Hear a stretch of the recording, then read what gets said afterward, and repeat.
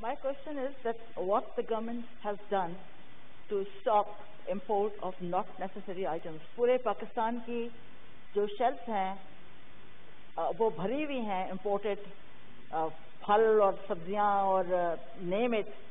So what what has been done because that takes away our our foreign currency, and then what has been done to stop the smuggling? Markets भरी हुई हैं with imported cloth, and that is damaging our local industry. ठीक है जी जी